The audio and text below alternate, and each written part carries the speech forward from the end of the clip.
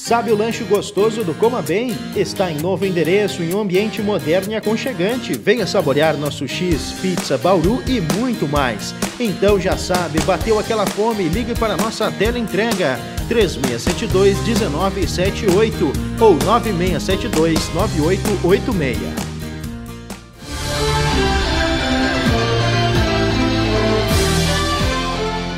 Tomaram posse no domingo 1 de janeiro de 2017 os candidatos eleitos nas eleições de 2016. Centenas de pessoas estiveram no Centro Integrado Multiuso Professor Alvinho para acompanhar a cerimônia de posse de sete novos vereadores, mais dois reeleitos, assim como o prefeito reeleito Silvio Rafael e seu novo vice Sérgio Marou. O prefeito, em seu discurso, manteve a proposta de fazer uma reforma administrativa, corrigindo os erros e melhorando o serviço público.